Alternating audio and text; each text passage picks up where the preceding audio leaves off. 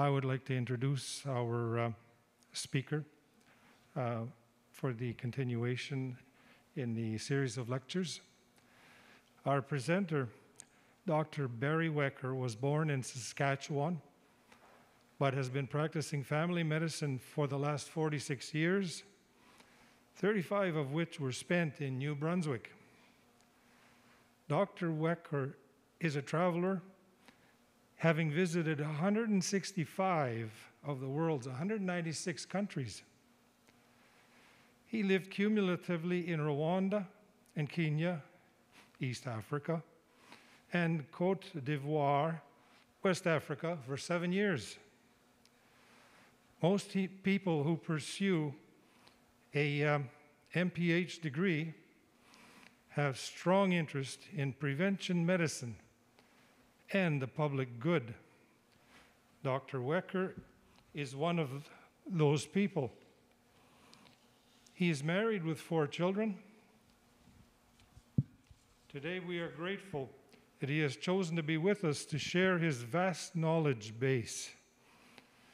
Today's presentation is the fifth in the series of talks and is entitled Dementia and Alzheimer's Disease and the Two Operating Systems. We present to you Dr. Barry Wecker.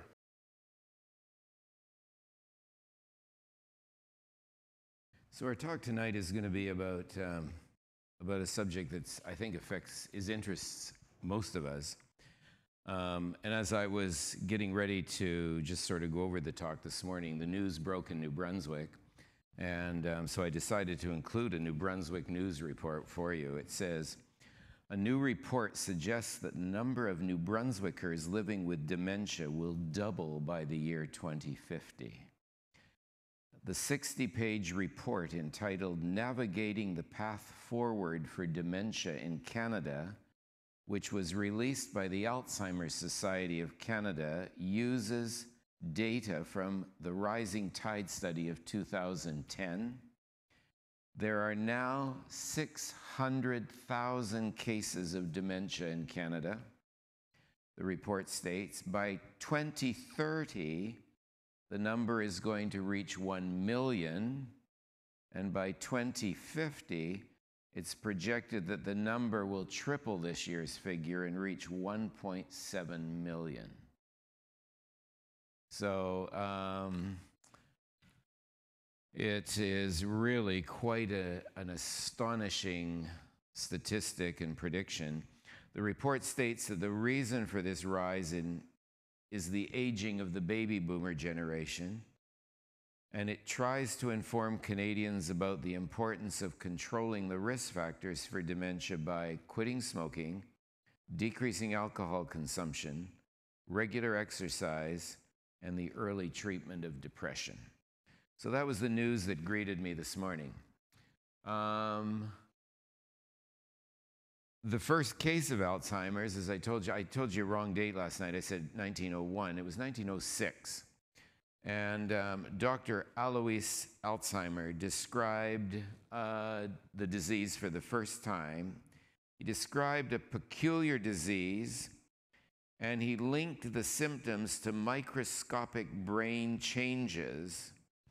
And he describes the haunting case of Auguste D., a patient who had profound memory loss, unfounded suspicions about her family, and other worsening psychological changes.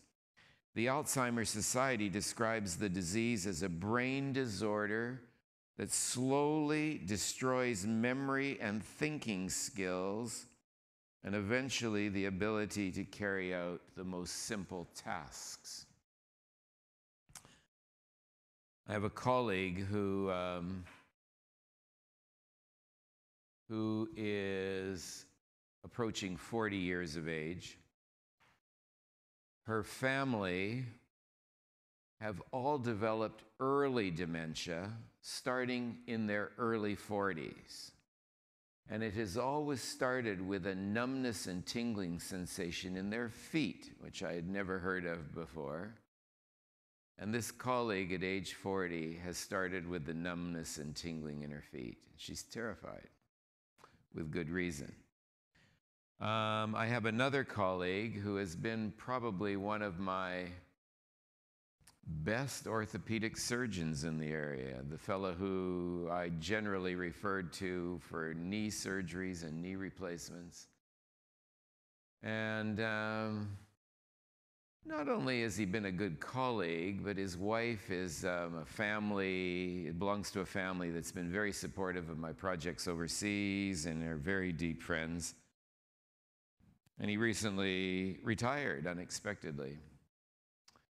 And I found out from one of his aunts that the reason he retired was because his memory is starting to slip and his ability to do his surgery is starting to slip at age 58. Here is probably one of the best orthopedic surgeons we have in our province. Well, no, I said one of the best. I wouldn't want to put down any of the others because we have a good collection of them. And he's losing his ability to do it because of the disease. A classmate of mine in high school um, went to dental school when I went to medical school. And um, when he graduated, he moved into my hometown, and I was doing my internship at the time. And um, I didn't like the elderly dentist that we'd had before. I thought he was a little bit rough, so I decided I was going to switch. And uh, so I started seeing Eugene. Come to find out, he went into practice with my former dentist, so that was kind of difficult. But anyhow, Eugene was just a very good friend. He married one of my childhood friends, and uh, we have been friends for years. My sister worked for him as his office manager. And suddenly he started losing the ability. He'd forget which tooth he was going to fill. Had to have staff with him to keep him focused on what he was doing. And then very quickly discovered that he couldn't remember how to do the procedures. So he had to retire. The last time I saw him, we managed to hold a fairly good conversation together, but he couldn't do the most simple tasks. If he went to the toilet, he didn't know what to do in the toilet. If he got on the lawnmower, he didn't know how to turn it on. And so the last comment I made to him as I was leaving, we were invited over for dinner, and um, I said, Well, you're retired. Um, I said, I'm. He said, Don't be jealous.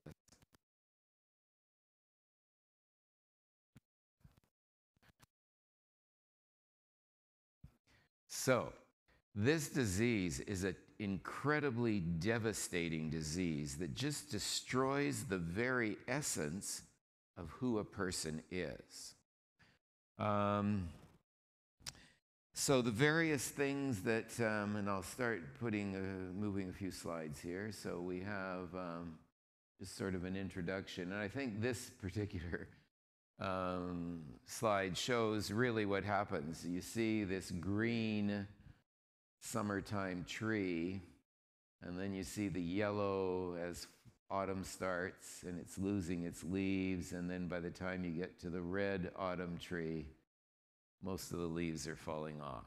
And uh, that's what happens. So, this was my breaking news from this morning. Um, so, what happens in Alzheimer's disease? We're not 100% sure. We thought we knew what was happening. We thought it was because there was the deposit of something that we called amyloid plaques in the brain. However, last year, some research has debunked that idea and stated that these amyloid plaques are not necessarily the cause of Alzheimer's disease. We do know that the the, the, the brain starts losing volume, it loses connectivity. So one nerve cell is not connected to another nerve cell. And that's why we start losing brain functioning.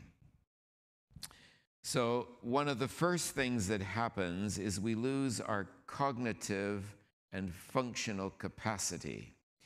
And the person develops difficulty in understanding, thinking, memory, communication. They lose their ability to make decisions, to accomplish simple tasks, or follow a conversation. The person can become combative and confused, losing their memory of recent events and finally even of past events. Many times when this starts out, that people compensate for it.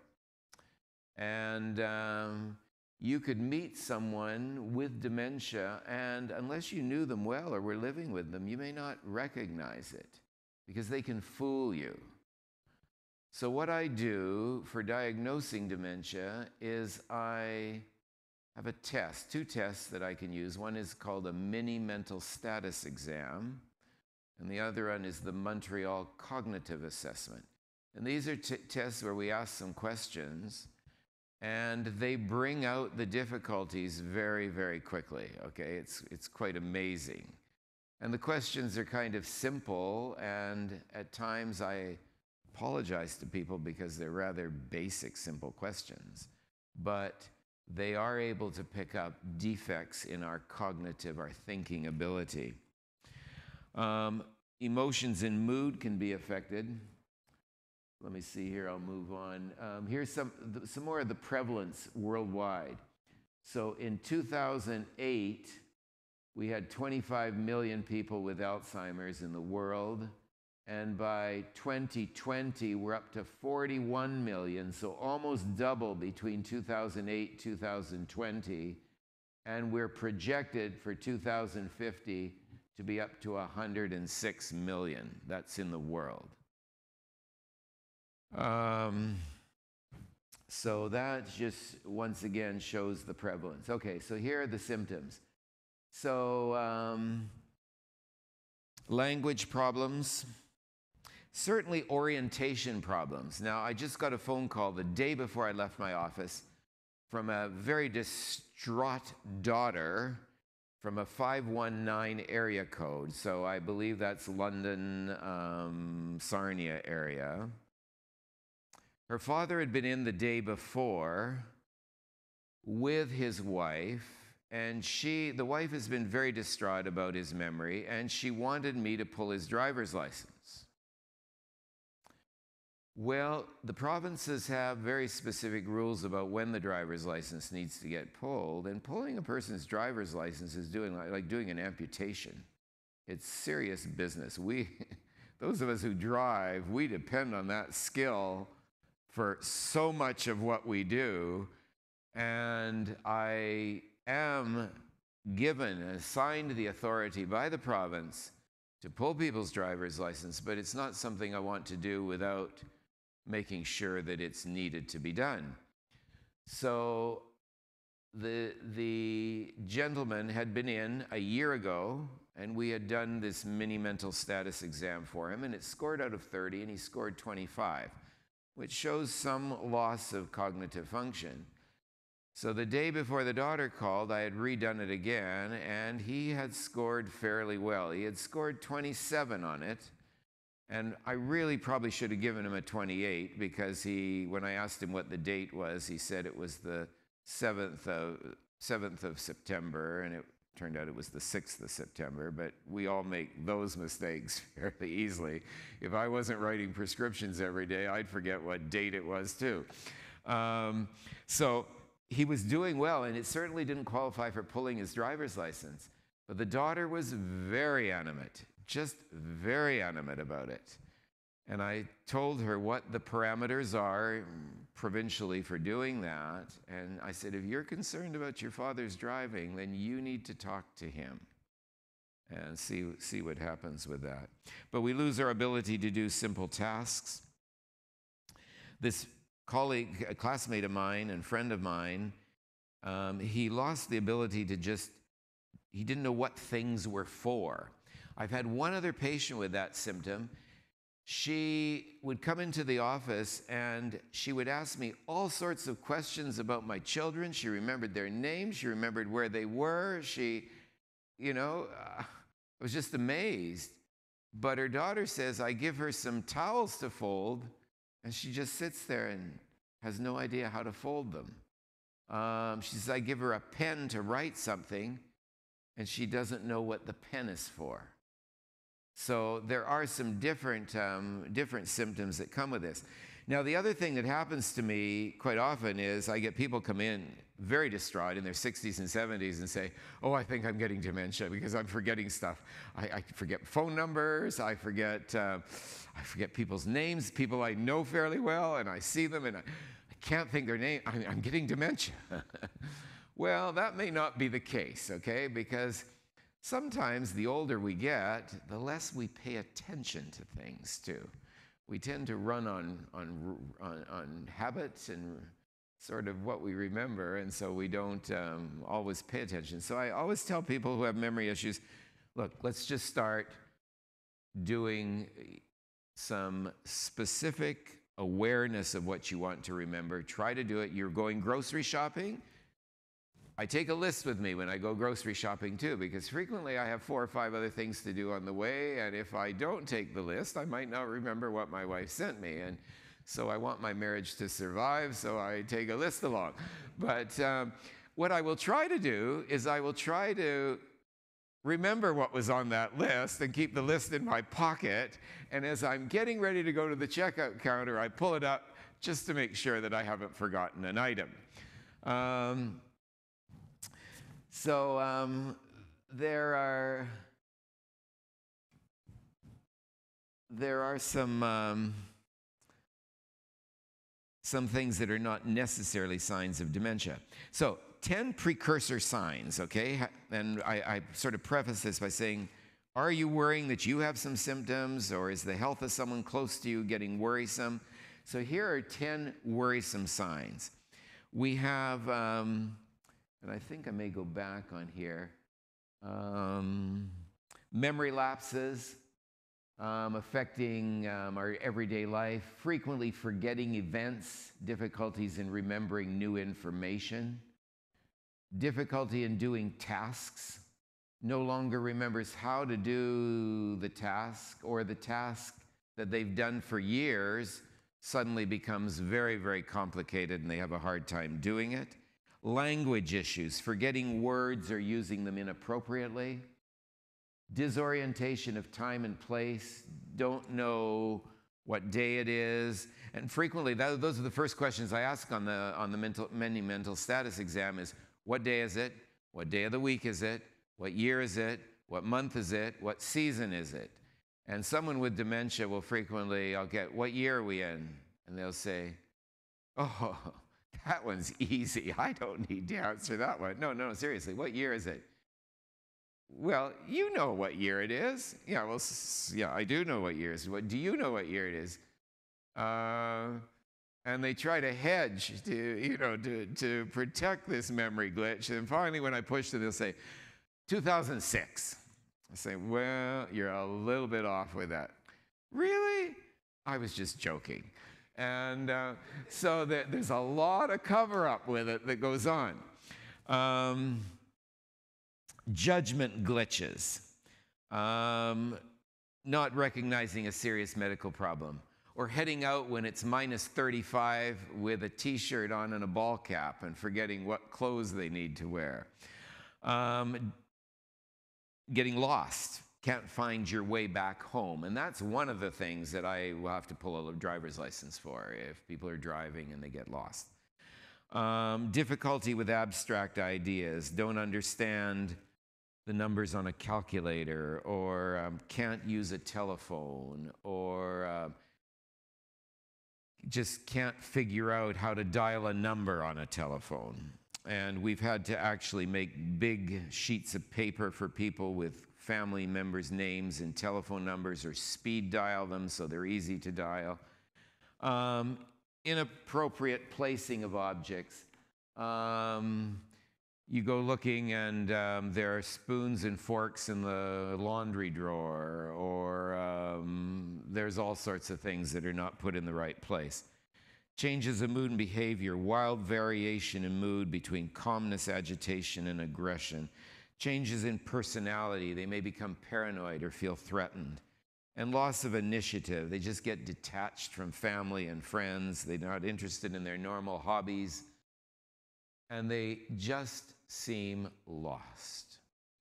On Sunday last week, I was asked to do a funeral for a young man, 33 years of age, who um, unfortunately had had type 1 diabetes, had had renal failure, um, was on dialysis, waiting for a kidney transplant, had an appointment this week in Quebec for, for working up for a kidney transplant. And um, he just collapsed and passed away. His father has dementia. And so, as we went through the line to greet and talk to the family, mother, brother, wife, and two children were standing there, but father was just lost. You could just tell. He, he, he was just lost. Now, I had been by the house to talk to him, and he knew what had happened, and he understood what had happened. But with all the people at the funeral, and it was a big funeral, just wasn't sure what he was to do. We had to direct him where he was to go and where he was to stand. And when you went to talk to him, just wasn't there. Now, there are other types of dementia besides Alzheimer's disease. We have vascular dementia, where people get hardening of the arteries in the brain, and um, we don't get good blood flow to parts of the brain. So that's another type. We have um, a mixed dementia, which could be part Alzheimer's, part vascular. We have one called Lewy bodies dementia. And with Lewy bodies dementia, people frequently are hallucinating. They're seeing people who aren't there, they're looking outside, and they're seeing vehicles going by, or they're seeing people going by, and they're not there. So, and the treatment for that one is slightly different.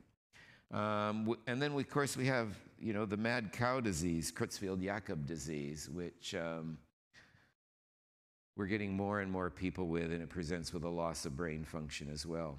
And there have been times when we have wondered whether Alzheimer's was actually related to um, mad cow disease um, and caused by a prion, which is a very small infectious particle, but we've not been able to prove that.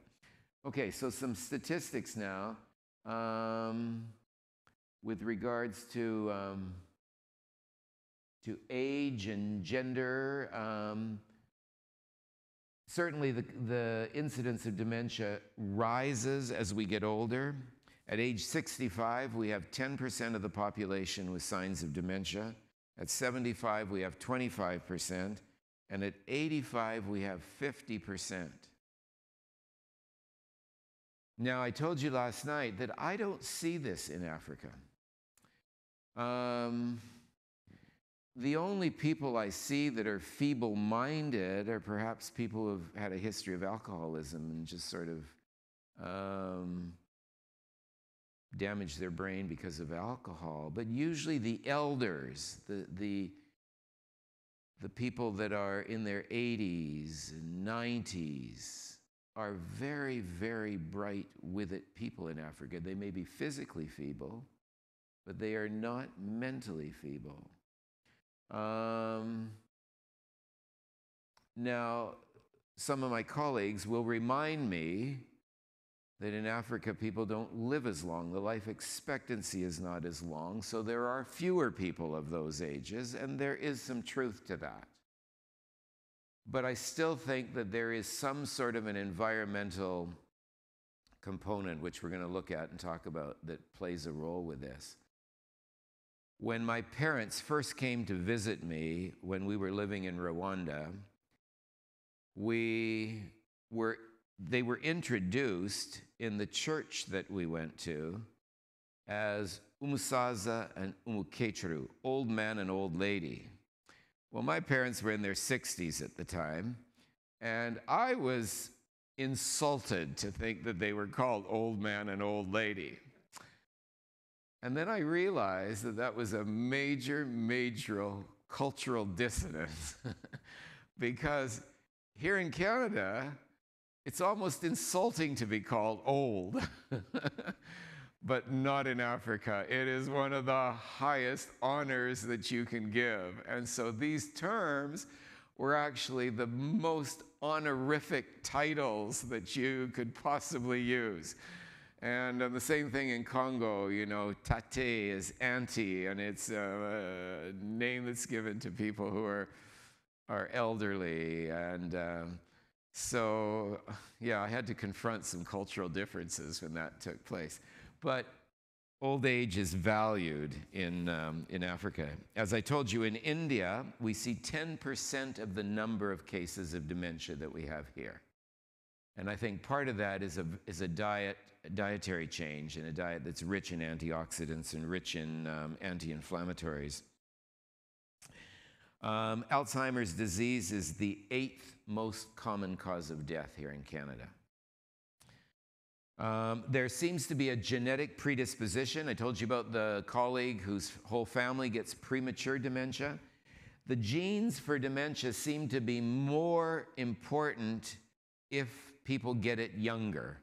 So when people start getting dementia in their 40s and 50s, there is very often a genetic predisposition to it. Whereas when people begin getting dementia in their 70s and 80s, um, we don't see the genetic component to that quite as much. Um, but as I told you about epigenetics, just because we do have a gene for dementia does not mean that we necessarily have to have it. There are environment.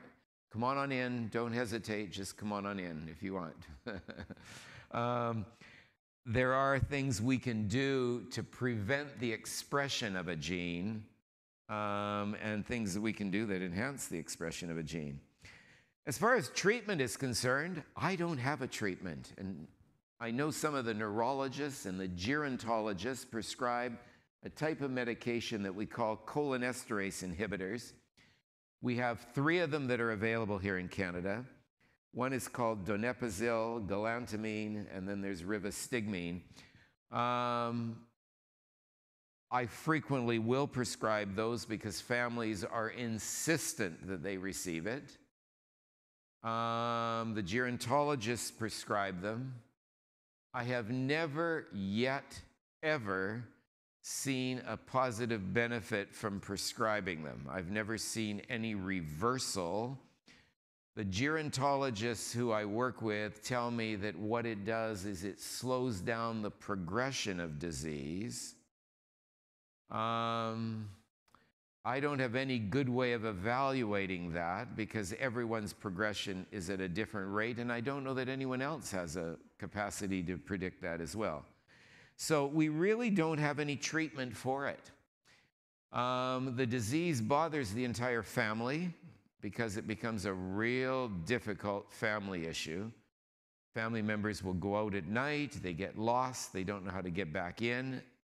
Especially, I um, don't know if you remember the Quebec politician whose mother was in a, uh, a senior's home, and there was a fire drill one night, and she um, went out with the fire drill, and she couldn't get back in, and it was in the middle of the winter, and she froze to death outside the home. I don't know whether it was um, Bouchard's mother or um, one of the Quebec politicians' mothers. Um, so we have to be careful. Most places that deal with Alzheimer's patients, you have to punch a code in to get out the door, so it prevents people from leaving uh, without supervision.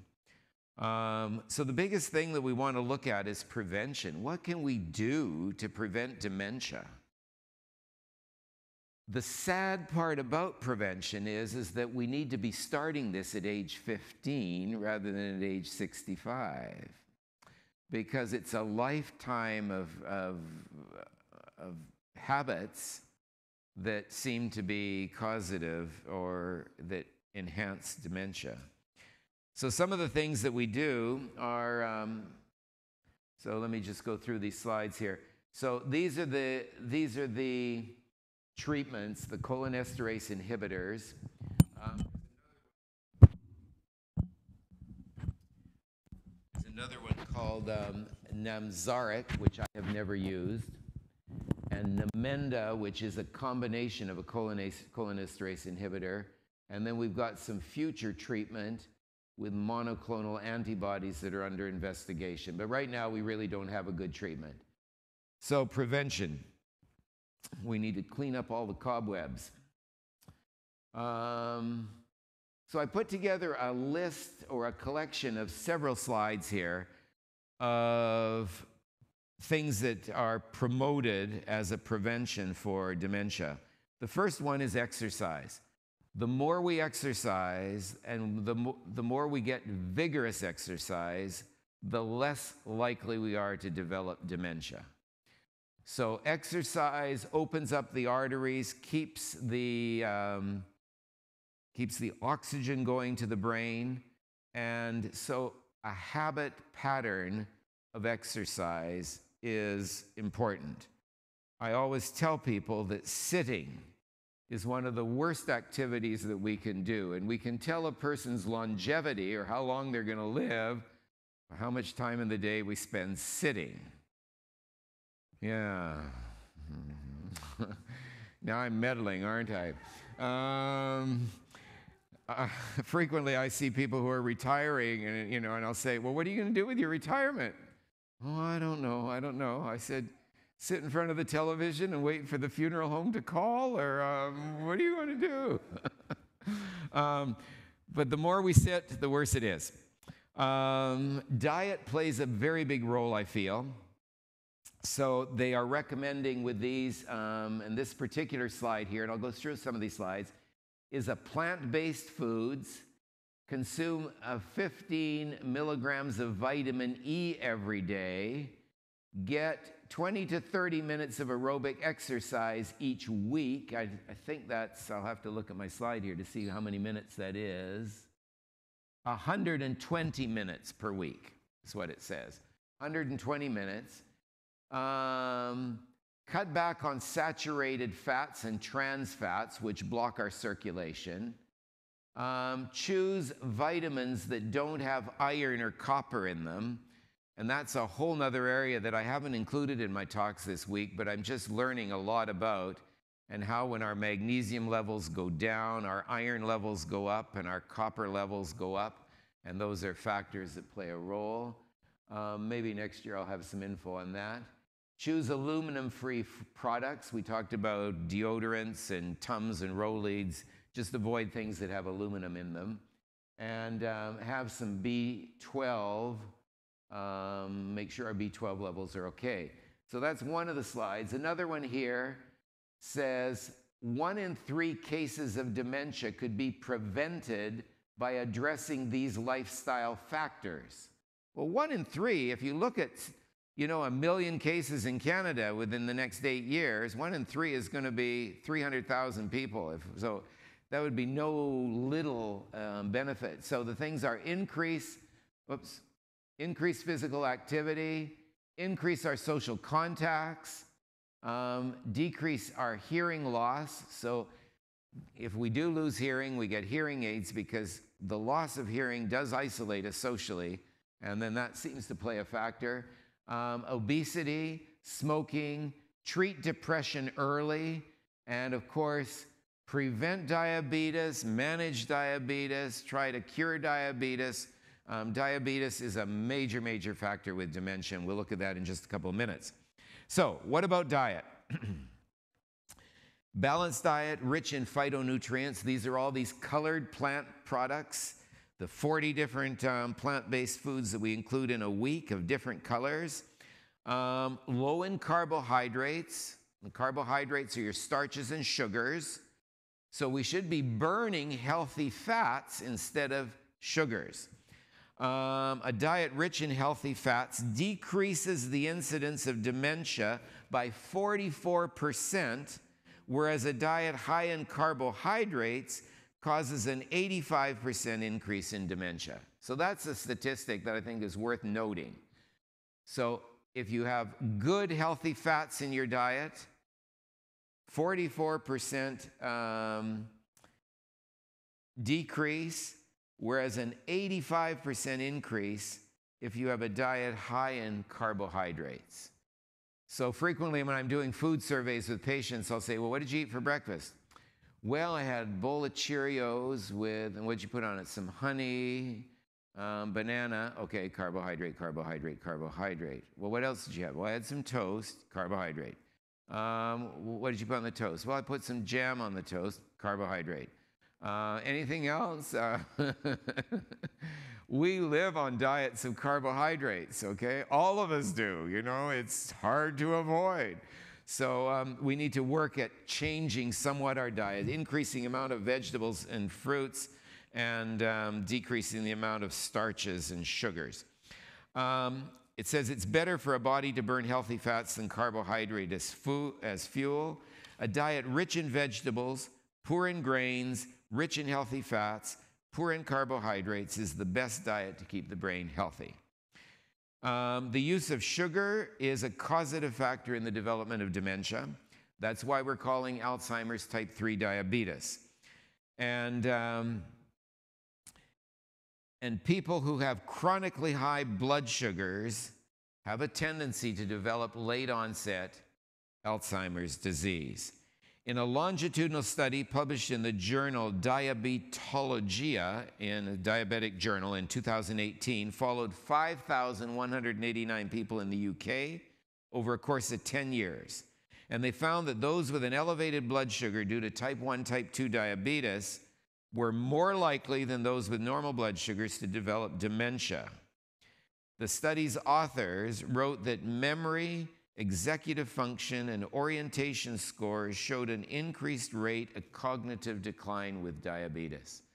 Now, of course, diabetes is epidemic in our country right now. It is epidemic in our elementary schools, our secondary schools. So we need to see what we can do to control our blood sugars. Um, if any of you are diabetic, and I would guess that there are probably at least four or five in the room, um, the new little discs that um, you can put on your arm to monitor your blood sugar is called the Freestyle Libre is an amazing little invention we've had for the past two or three years. And um, I am not a diabetic, but I wore one as sort of a demonstration when they first started coming out. The drug rep let me put one on. And I'll tell you, I learned more information about my blood sugar from that um, little disc that was on my arm than you can imagine. For example, um, it was October, and the pharmacy next door had little packages of potato chips there, you know, the ones you give out for Halloween, you know, and everything. And they were there for all, anyone to have them. And I was hungry one day, and I picked up a couple of packages of them and quickly woofed them down and checked my blood sugar. You know, you just have you take your phone and you just um, go beep, and then it tells you what your blood sugar is. So um, those two little packages, tiny little Halloween packages of potato chips, put my spike my blood blood sugar up. Wow, shocked. I didn't think potato chips would do it. Uh, another day, it was a weekend, a Sunday, and I was in Fredericton, and at the exhibition grounds, they had an international food fair and they had oh booths that were selling food from all the countries around the world and it was fantastic. And of course i imbibed in the lebanese counter that was there and had a bunch of lebanese food. And um, checked my sugar and didn't go up too much didn't go up too much. And so i had to take someone home to the, the cross town. And as i was coming back i saw a dairy queen. I said okay dairy queen let me check that one out okay? So i went in had a dairy queen and uh, didn't bump my sugar up at all the reason was I had just had a full meal. So if you have your dessert at the end of a full meal, the meal stabilizes your sugar out. I didn't know that. I thought for sure it would have bumped it up, okay?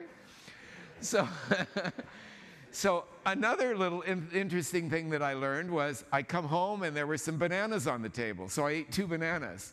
Boy, my sugar just popped up real fast. But if I had my meal and then ate my two bananas, it didn't do it. Okay? So um, I learned a lot from this. Um, my project director from Congo was with me in May, and um, he's overweight, and um, I've been concerned about his health for some time. Not only because I don't know what I'd do without him, but uh, you know I am concerned about him too. So I um, decided I was going to start monitoring his blood sugars because he had tested them a few times. And he was getting blood sugars of 20. So I, you, those of you who know blood sugars, the normal goes between 3.5 and about 5.5, 5.7. So 20 was quite high. So I bought one of these Freestyle Libre discs and I stuck it on his arm. And um, just by doing that, he changed his eating habits so much that his sugar stabilized just by knowing what it was and what foods did to it. So, if any of you do have troubles with blood sugars or are interested in finding out, get one of these things. You don't need a prescription to buy them in Canada, you can get them at any pharmacy.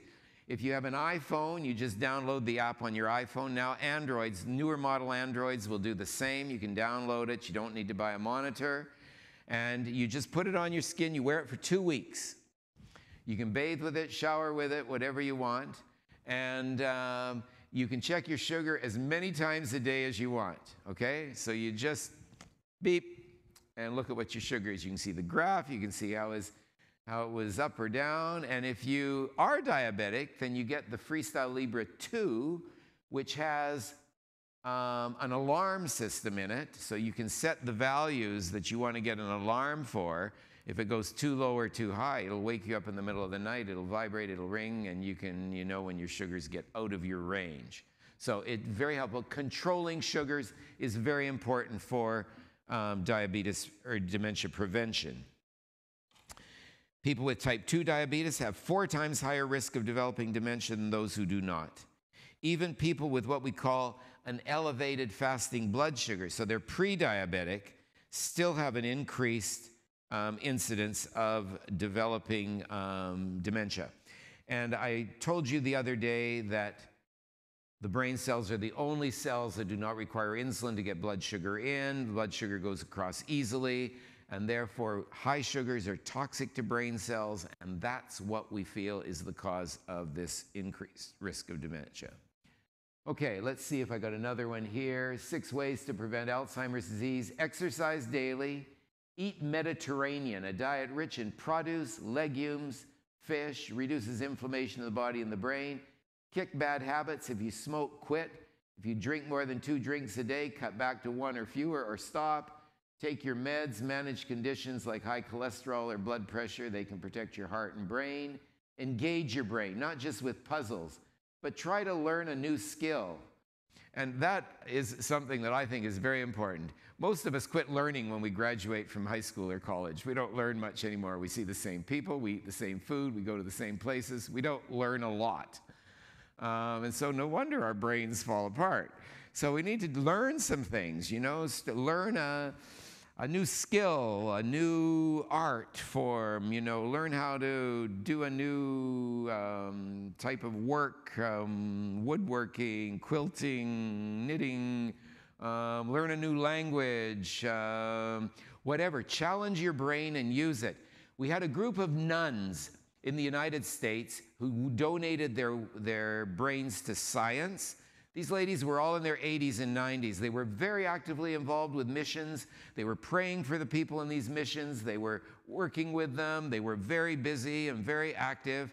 And none of them showed signs of dementia.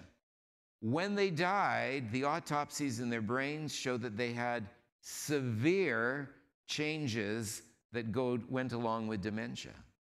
And yet, none of them in their, in their mental functioning had the disease. And it was largely because they had kept their brains active and it kept them functioning. So, an active mind is very, very important with this as well. Um, one thing that we're finding is, um, and one thing that's a big concern for me, and you're going to get tired of me saying it, but it's Roundup, glyphosate. Glyphosate is an antibiotic. Glyphosate destroys our bioflora in the gut. It, um, it also breaks down the blood brain barrier. And normally, there is a barrier between the blood and the brain. And this was first discovered back in the 1800s, about 1885, there was a researcher who injected blue dye into rats.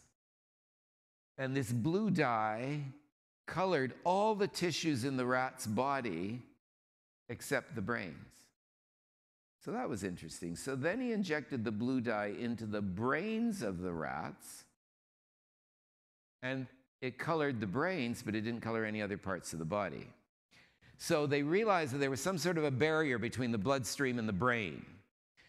And it was in the 1960s when we had better microscopes, electron microscopes, we were able to see that the cells in the blood vessels in the brain are so tightly knit together that very few things get across that barrier. And um, very small molecules will get across. Alcohol gets across, that's why people use it for the brain altering effects. Um, there are certain other chemicals that will get across. But there are things that break this blood brain barrier down, and toxins are one of them, and glyphosate, Roundup, is one of them too. Now, the other thing is, pharmaceutical companies want to break the blood brain barrier down because they want their medications to get into the brain. So they are engineering ways with medications to punch holes in the blood brain barrier very distraught about this, and we need to be aware um, of these types of medications and what they can do at punching these holes in the brain. When the holes get in there, then all sorts of things can go through this blood brain barrier. And we are thinking that these amyloid plaques that get in there pass through the holes in the blood brain barrier. You know, God has created us with, you know, a protection system for our brain, and here we are trying to break it down um, for a variety of reasons.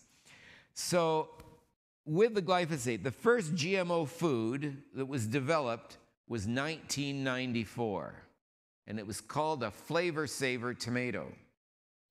Since 1994, there's been an exponential increase in GMO foods.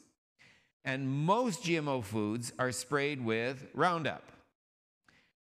Since 1975, we have put 9 billion kilograms of glyphosate on the face of this earth. So much so that we now have glyphosate in our rain. The agricultural people will state, oh, it doesn't last around very long, but that's not true. Another news article that I read today was that a professor at the University of New Brunswick has been under intense pressure by the forestry industry in New Brunswick to kick him out of the university because he's against glyphosate. he's lectured to his students in the forestry department about the dangers of glyphosate. That's almost like speaking against Vladimir Putin. You know, you might may never know what will happen to you. Um, glyphosate is powerful in the agricultural industry. It's powerful in the forestry industry, and it's all about money. It's all about making bigger and bigger profits from these things, but it's a powerful toxin.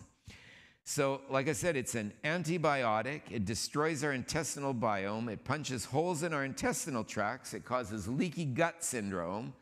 And both that leads to inflammation. And we know that dementia is caused by inflammation. And now the latest studies coming out are that glyphosate destroys our body's manganese, which is another trace mineral. And this manganese is very important for brain health.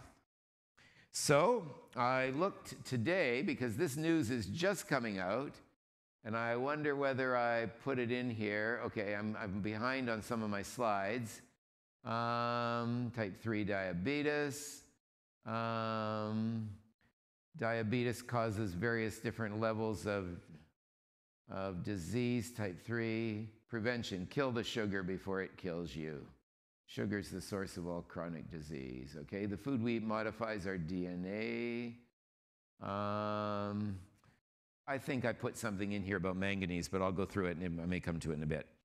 So, the foods that are rich in manganese are nuts, such as almonds and pecans, beans and legumes, lima beans, pinto beans, oats and bran are, have ma- manganese in them. Whole wheat bread has manganese, brown rice, leafy, leafy green vegetables such as spinach, fruits such as pineapple and acai, and then one that you're all going to appreciate dark chocolate. so these all have manganese in them. Um, I'll try to catch up on some of my slides here with, uh, so I can not be out of step. Um, changes in diet and physical exercise, first steps in prevention of dementia. Takes 20 years of good habits to prevent dementia. So we need to start teaching our children habits while they're young. Get them involved in the kitchen, teach them the principles of healthy eating. Don't axe PE classes in school, get them involved with sports. And the sports of most kids should be more than this one thumb sports, okay? Um, avoid all toxins as much as possible heavy metals, MSG, artificial sweeteners, petroleum products, cigarette smoke, vehicle exhaust, glyphosate, pesticides, insecticides, herbicides. Um, we need to avoid all those toxins. Um, and there's the culprit right there.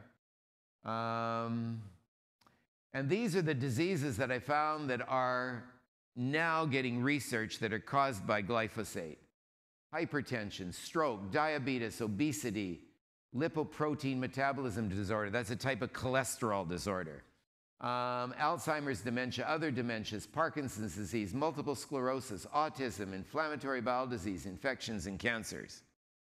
Now, Monsanto has sold glyphosate to Bayer, German company, and Bayer is paying out millions of dollars. In fact, the first lawsuit they got was from a fellow in California who sued them for one point something billion dollars. So they are they're facing a fair amount of legal suits, but they're only going to increase. The problem is, once again, the support of agriculture in, um, in the use of glyphosate. So here are your top foods in manganese um, from this slide. Tea powder, turmeric, black pepper, hazelnuts, ginger, cinnamon. See, some of these are the anti inflammatories I told you about before pine nuts, oregano, cardamom, wheat germ, hemp seeds, hemp heart seeds, and oats.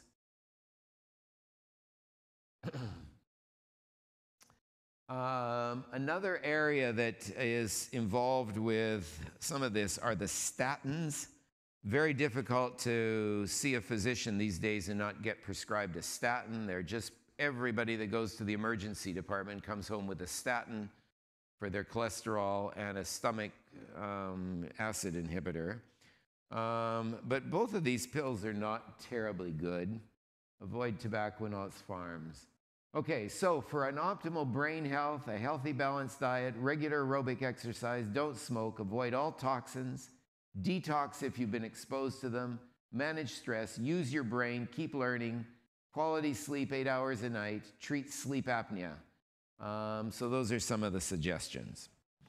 Um, good social relationships, good spiritual relationships, relaxation, positive thoughts. Genetics are the gun, but toxins and foods pull the trigger. Now, before I go on to there, there's one other section that I wanted to go over with you. And this is if you're interested in detoxing from toxins. Um, and I think that with the amount of toxins that we have in our environment, periodically doing a detox might be worthwhile. And the detox foods are largely the cruciferous vegetables.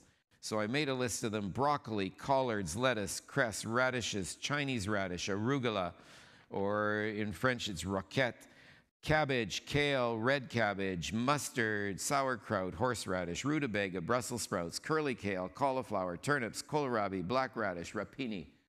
All of these cruciferous vegetables are very, very helpful in doing a detox. And um, there are several detox programs that are available online. Um, We've talked about the blood brain barrier, we've talked about inflammation, the role that tobacco plays, um, glyphosate, the gut brain connection. Um, a couple of other studies here, which I found quite interesting on the glyphosate issue. Um, it says antibiotics function by killing off bacteria. If you're suffering from a bacterial infection, the right antibiotic could be life saving, but we're exposed to too many antibiotics now. In addition to potentially leading antibiotic resistance, antibiotic exposure, such as in the form of glyphosate in our food, kills off the healthy bacteria that live in our gut. Um, in order to understand how glyphosate may impact our brain health, um, we have to understand our gut health, which we talked about um, the other night.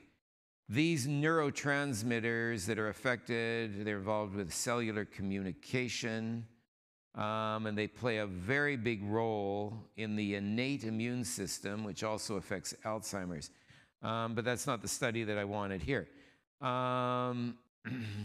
In 2018, the Environmental Working Group conducted their second set of tests on popular oat based cereals to determine its glyphosate content. In all 28 samples from various oat based products, such as General Mills, Quaker, glyphosate was detected in the oats. 26 of the 28 samples had glyphosate levels above what the currently accepted safety levels are 160 parts per billion. These results came just two months after the um, Environmental Working Group tested 45 products with conventionally grown oats and found that 43 of them had glyphosate in them too because it's in the rain. Um, it should be noted that glyphosate was also detected in organic oat products tested, but it was significantly less. Um, another study by the eh, Office of Environmental Health Hazard Assessment um, added glyphosate to the list of chem chemicals in the state of California known to cause cancer, despite an unsuccessful appeal against Monsanto. And this lawsuit that was had for 1.3 billion, I think, was in California.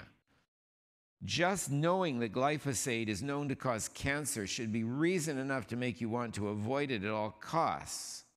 But also, if glyphosate is known to cause cancer, what other correlations with chronic diseases have we not only established yet? Only time will tell. So um, that's my rant on glyphosate. How do we avoid it? We avoid it by buying organic as best as we can. We avoid it by growing our own food as much as possible. Um, and we need to um, state our perspective with our wallet and vote with our wallet and not buy some of these GMO foods. Um, Another study from the Journal of Organic Systems coming from 2014 showed a huge increase in glyphosate in the United States. This is an American study. It disrupts the endocrine system, gets the gut bacteria out of balance, damages the DNA, driver of mutations that lead to cancer. In the present study, US government databases were searched for um, GE crop data glyphosate application data and disease data. Diseases which seem to have a significant correlation with glyphosate include all the ones that I had up there hypertension, stroke, diabetes, obesity, etc. So um, these toxins are a, a, major thing. So, in summary, um, what do we do about preventing dementia? We start with our children. We start with our young people, our grandchildren, and we try to get them going with healthy lifestyles. For ourselves, a well balanced organic plant based diet, regular exercise, no tobacco or vaping. And vaping now, uh, you know, a lot of the kids are going into vaping. It's so full of chemicals. It may not have all the tars that nicotine does, but it's full of hundreds of other chemicals, and they are all toxins. Avoid toxins, detox if you're exposed, regular quality sleep, treat sleep apnea, control stress, use your brain, good social connections, good spiritual connections, relaxation, positive thinking. Depression doubles the risk of developing Alzheimer's disease in women and multiplies it by four for men. Appreciation, gratitude, and love are positive thoughts. Anger, fear, and guilt are negative ones. Any questions about, um, about dementia?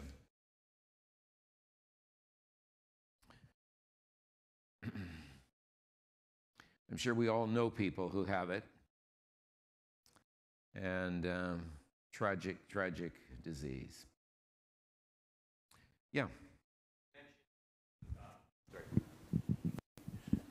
You mentioned in terms of prevention, uh, sitting is not great, right? In, in terms of, uh, now, I, I'm someone who exercises each day regularly, but I spend a lot of time sitting. So does my sitting negate my exercise or my exercise negate my sitting? Sitting negates your exercise. Mm. Um, we are, it, it, it's a significant enough problem that many workplaces now are is putting in alternative workstations so um, Google has in their office, you have an option. You can get a treadmill, you know, and you put your computer up, and you can walk while you're doing your some of your working. There's other ones that have um, pedals that you can pedal while you're doing, so you can keep some level of mobility going while you're while you're working. We all have sitting that's involved with our jobs to some degree, especially with COVID and working at home and on a computer. Um, I don't think we're going to avoid sitting completely. Truck drivers are terribly at risk for this. They're sitting all the time for their, for their driving, and usually their eating habits are pretty dreadful as well. Um, yeah, we need to just look at what the other alternatives are with my knee degeneration, um, I can work all day long and do fine, but I get home and sit down for a few minutes, and boy, do I feel those knees when I get up. It's like I feel like the Tin Man in The Wizard of Oz. I need an oil can to go with me. Uh, I can play tennis and it, they don't bother it too much, or play pickleball, but boy, sitting will do my knees in terribly. Um, yeah, we just need to evaluate that. We sit too much. So maybe we should get everybody before we start into part two to stand up and just stretch for a few seconds, okay? yeah, so feel free to just stand up and then we'll launch into our, our part two here.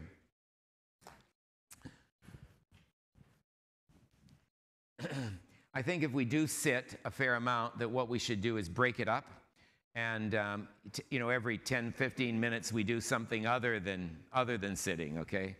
And um, stretch those joints and just um, get a big deep breath and that helps our brain oxygenate and it just does does us wonders. Good. So this evening for part two um, it's going to be fairly straightforward. Um, what i've done is i've called it the two operating systems.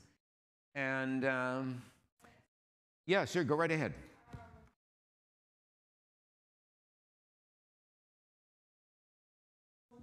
For the people who have or have noticed dementia, dementia in their homes, right? Mm-hmm.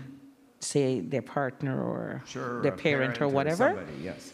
And um, when when you see things that are that you notice very clearly, they're forgetting or whatever, and sometimes some of the things are a little funny. Do you make light of it, or how do you address it?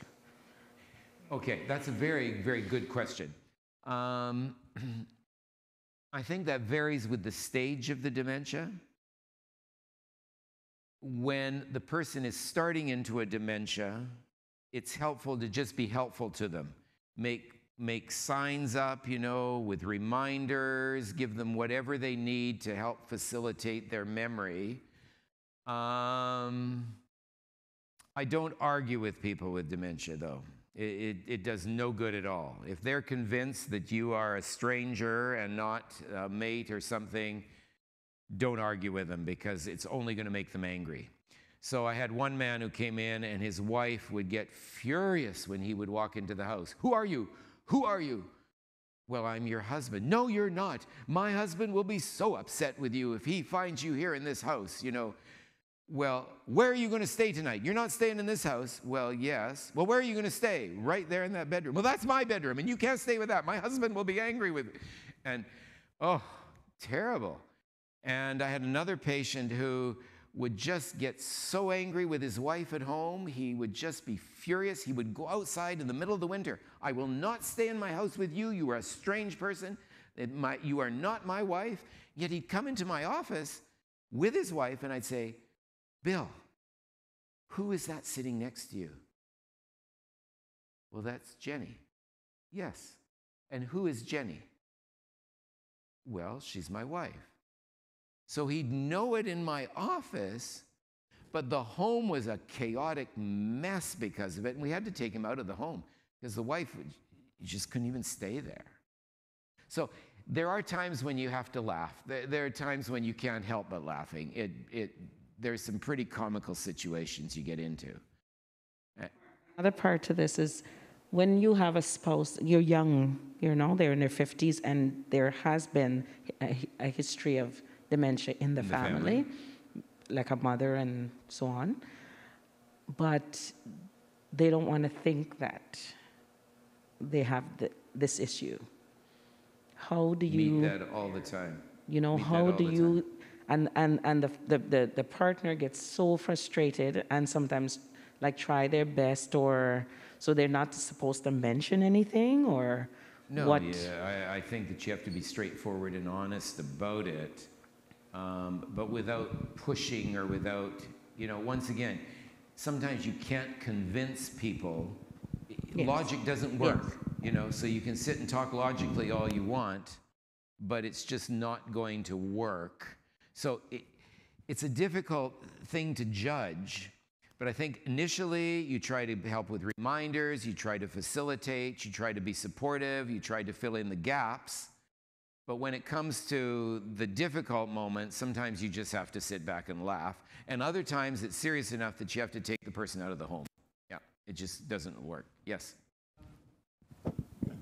Yeah. Um, rec- well, at the beginning of COVID, when we started, I work in accounting. Uh, at the beginning of COVID, when we started to work from home, we also had a new operating system that we had to work with. And that was one of the most difficult things that I've ever done. Because the steps, it, it was like from working in the office where I had my files, et cetera, et cetera. Where you I, knew where everything was, Yeah. it was familiar. then you're working from home and you've got a totally new operating system to learn. And That is Alzheimer's prevention.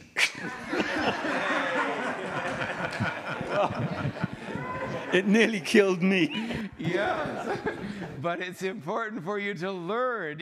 So, so when I get a very difficult patient in with some mysterious complaint, I always look at them and say, "Well, I have no idea what that was, but I'll tell you what, you're preventing Alzheimer's disease in me because I got to think about this one.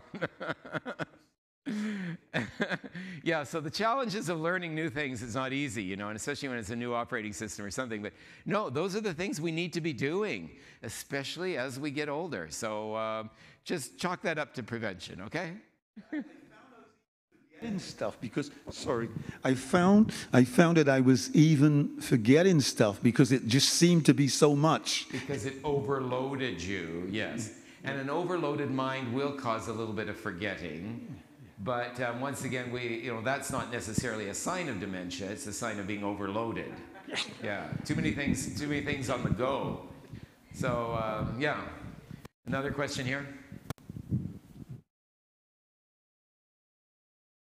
It's kind of actually piggybacking off of what he said. Um, my question is how or what's an identifier, or if there is any, um, when you know you might have a different case, a different uh, issue that causes memory loss.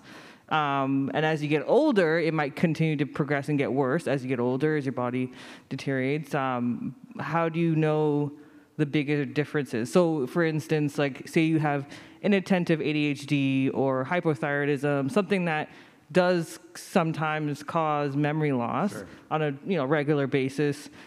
You know, if it continues to kind of get worse as you get older, how do you know that? How would you a, a family member? Yeah, how would a So family member know? basically Yeah. related to the diagnosis. So what we do with when a person comes in with memory issues, there are several things that I do right away, okay, before it gets too advanced. I want to evaluate their thyroid and make sure there's no no thyroid issues going on. I do want to, uh, I check all their blood work, make sure I'm not missing something else with blood work, especially look at vitamin B12 levels, look at folic acid levels. Um, I encourage them to supplement vitamin D. I encourage them to supplement omega 3 fatty acids.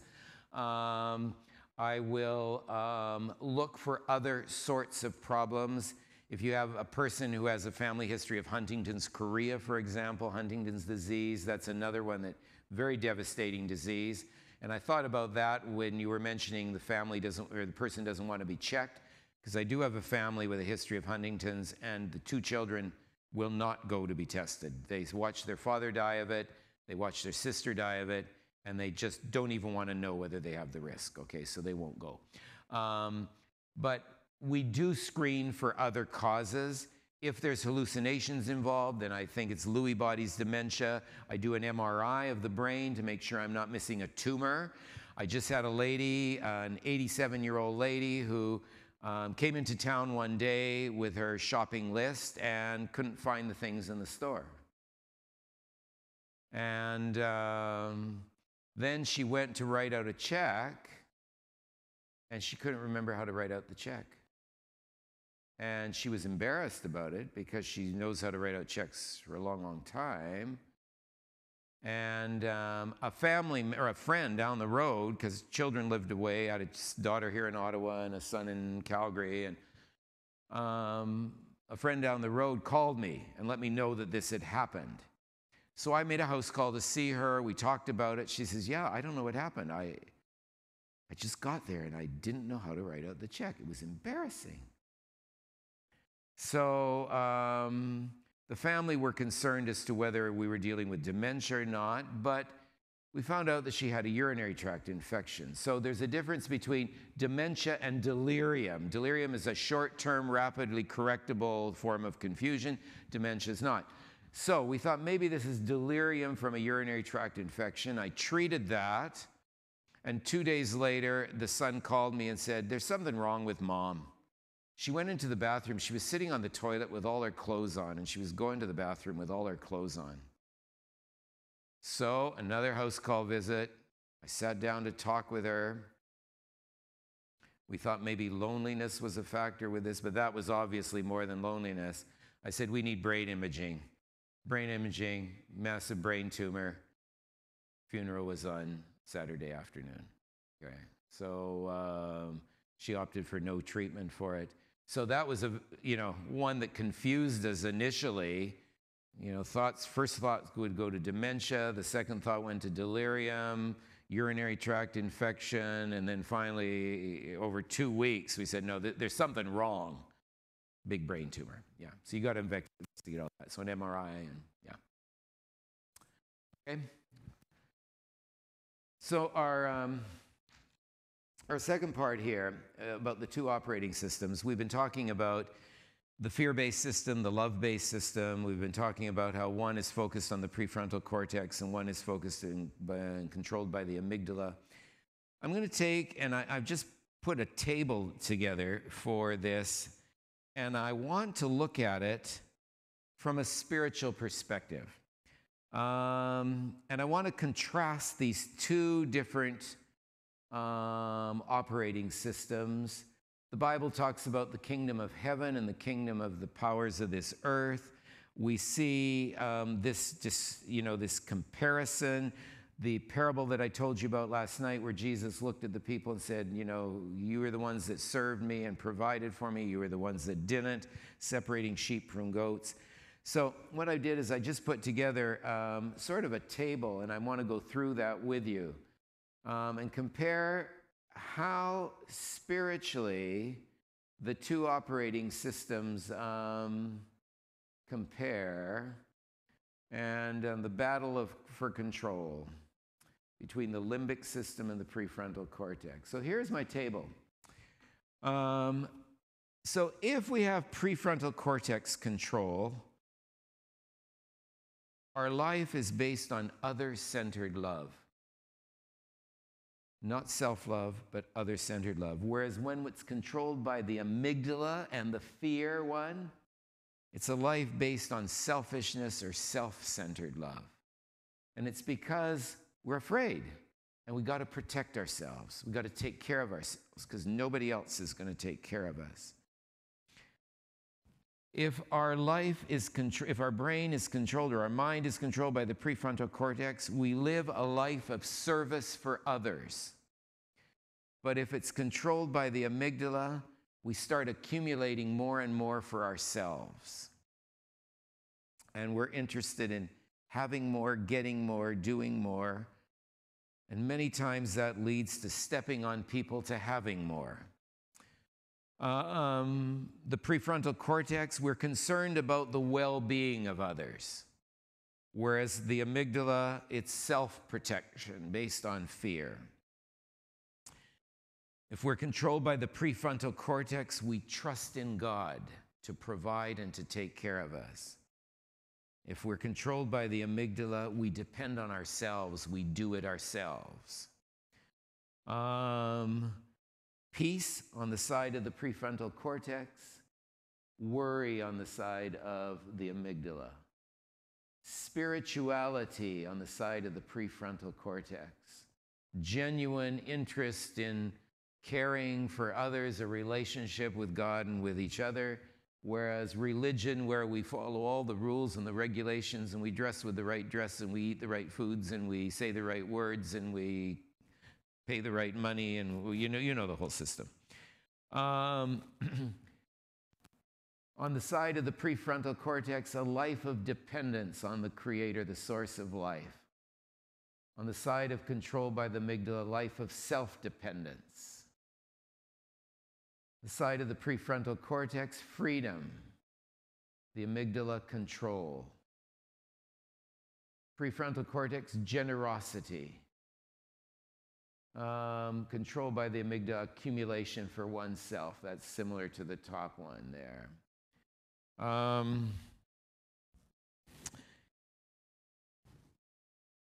and I haven't finished some of these. I, I, didn't finish the slide. I'm sorry about that. Um, on the side of the prefrontal cortex, the perspective of God being a physician who provides healing for our, for our fatal disease of fear. On the side of the amygdala, we perceive God as a judge who is going to give out punishment. On the side of the prefrontal cortex, we understand sin to be a fatal disease that needs to be cured on the side of the amygdala, sin is a legal problem which needs to be punished. Um, on the side of the prefrontal cortex, the plan of salvation is a remedy for a fatal disease.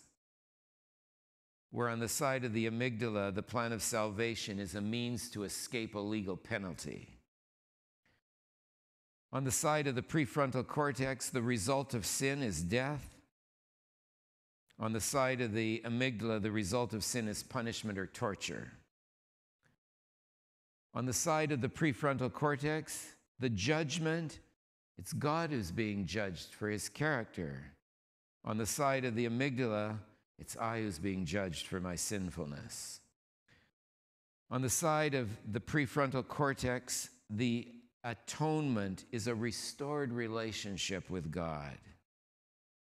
On the side of the amygdala, the atonement is an erasure in a book of a record. Um, on the side of the prefrontal cortex, access to God is available to all. On the side of the amygdala, access to God is via a priest or Mary or a pastor or an imam or somebody. If we are controlled by our prefrontal cortex, the goal is healing and to be cured. Whereas if we're controlled by our amygdala, the goal is forgiveness. If we're controlled by our prefrontal cortex, grace brings a trusting, intimate friendship with our God. If we're controlled by the amygdala, obedience brings a conditional acceptance. On the side of the prefrontal cortex, the perspective that God is pained by our suffering and pain caused by our ignoring his design laws, and he longs to make us well and makes us right again. On the side of the amygdala, the perspective that God is angry because of our disobedience and his justice requires that we pay dearly for our misbehavior. On the side of the prefrontal cortex, we have walked away from God. On the side of the amygdala, God has walked away from us and I will, I will fill in the rest of these. I, I didn't realize I hadn't finished filling it in, and I'll give you a copy of this so that you don't have to write them all down, okay? But you see how these, how the, the, the focus, the locus of control in our brain changes our whole perception of things. It changes our perception of life. And it changes our perception of God. And instead of being comfortable with the idea of meeting God someday face to face. We see him standing in front of a judgment bar with a punishment area there, and we're afraid. Changes everything depending whether we are controlled by our prefrontal cortex, whether we understand that love is the basis of the entire universe rather than fear. And, um, and some of these are just, the, the difference doesn't seem like much, but it's definitely there and it changes our lives and influences our lives. And so we all have a choice as to which operating system we're going to use. We can choose to operate out of fear control. And we will then try to control others the same way. Because you see, there's a law that we become like the being that we admire and worship. And so, if we are admiring and looking at a fearsome, horrible God, then we will become fearsome and horrible ourselves and we'll be out trying to force everybody to do whatever we think they ought to do. And unfortunately, as I mentioned last night, religious people can be that way quite often. But God's never that way. He stands with his arms open and invites us, but never forces himself on us. He invites us to come to him he can and will heal all the damage done if we'll just let Him. Our subject on Thursday night, we're not going to have a meeting tomorrow night. Our subject on Thursday will be um, on uh, ADHD and autism. Um, some interesting information on that. And then I'm going to follow through a little bit on this two operating systems for the second part and the title is going to be There is No Need to Be Afraid of God. And um, we're just going to look at some really th- some incredible things that Jesus taught and that God has tried to reveal to us that we don't need to be afraid of Him. So um, that's what we'll do on Thursday night. I wish you all a very good night and a very good day tomorrow. And um, just do some thinking about um, what we can do to change some habits in our lives so that we can be healthier. We can't change things tremendously at one time. It just doesn't work. You know, you can't change your diet totally overnight, but we can make little changes bit by bit. And every little one that we do makes a difference. We're not going to become marathon runners overnight, but we can increase our activity a little bit, bit by bit. And uh, we can have little habits of how to do it. And um, sometimes people come to me and they want a handicap parking sticker for their car. And I say to them, I don't think you need a handicap parking sticker. I think you need a sticker in your car that says you need to take the farthest parking spot away from the door to get there. Because if you were just about to exercise a little bit more, you'd do better. uh, so, yeah, park a little distance away and go for a walk. Uh, and um, remember that there's no such thing as too inclement of weather here in Canada. There's only improper clothing. So, no matter what the weather is, it's never too bad to get out and enjoy the outdoors. Just dress differently and get out there, okay? So, a wonderful evening. May you be healthy, happy, and holy, filled with God's Spirit, and we'll see you on Thursday evening, okay?